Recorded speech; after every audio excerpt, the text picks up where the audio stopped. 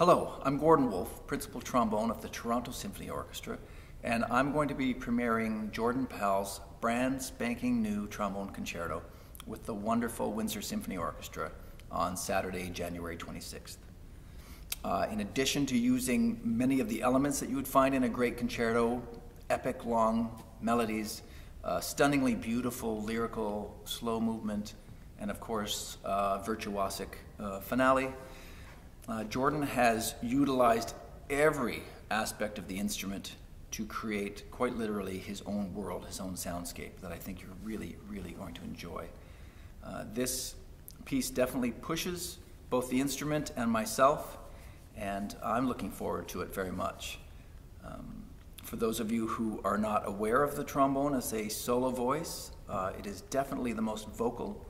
of all of the orchestral instruments, and I think you'll be quite surprised when you hear uh, everything that it can do. Uh, we are truly looking forward to this concert, and we hope to see you there.